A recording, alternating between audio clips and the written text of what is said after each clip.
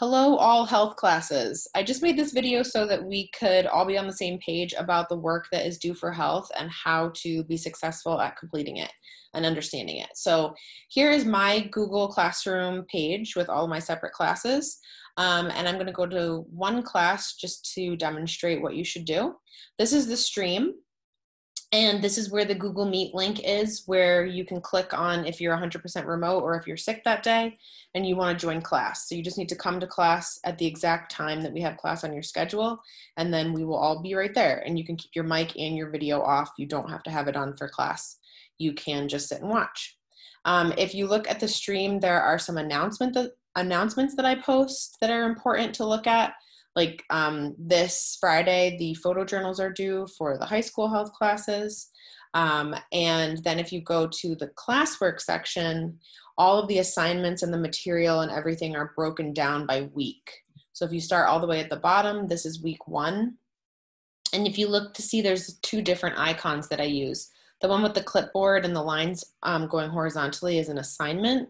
And this um, rectangle with the ribbon, those are materials you need to still read every single post and what is inside of it. So this one doesn't have any instructions. This was the first day attendance form. You just had to click on the form and do it.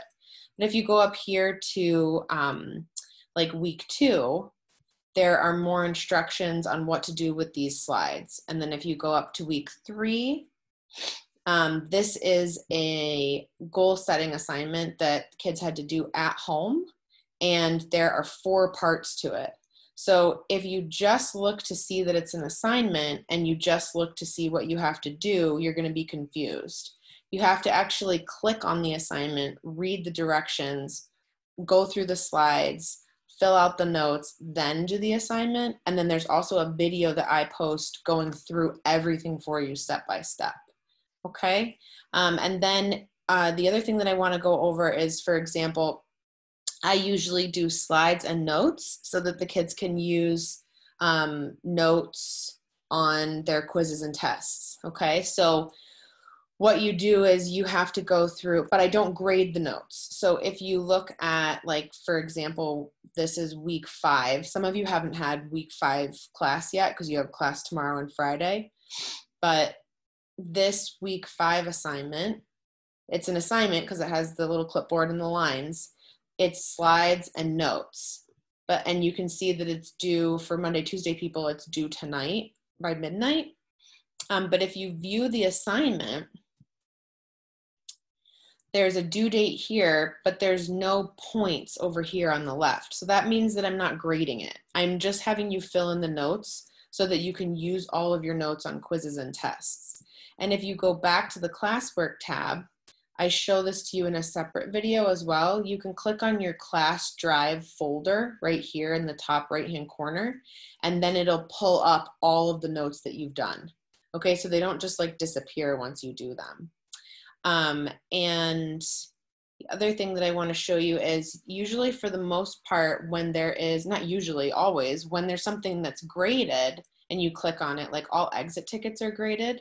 So we can go to the um, for week four, there are slides and notes from class that you have to do for media literacy. Then there's a graded exit ticket. And when you go to view the assignment and instructions, you can see right here on the left, it says 30 points, and then it says when it's due, okay? Um, and then if you go back to week four, there's a video of me explaining all of that in case you weren't there or have questions. And then in between week four and week five, you have a homework assignment, which is right here, week four homework, which is um, a set of slides and notes to do for causes of death. And again, the notes are not um, graded. You just have to do them so that you can use them for the quiz or the test. And then right here is the exit ticket that you do after you read through the slides and fill out the notes. So here's your graded exit ticket for that. Okay, so the thing is, if you go back to your classes here, you go back to all your classes, you can click on this to-do list right here in the top left-hand corner. But the only thing the to-do list shows you is exactly what you're missing. It doesn't give you any instructions, it doesn't give you any materials, and it doesn't tell you how to do the assignments. So then um, teachers get a lot of emails when kids just go to the to-do list and they say, what am I supposed to do? And it's because you have to go back into the class, into the classwork section, and then into the week that you're in and click on the assignment so that you can look at the instructions. Okay? So if you have any questions, let me know. I'm more than happy to help you and go through this with you one-on-one -on -one in a Google Meet. Um, I hope that helped.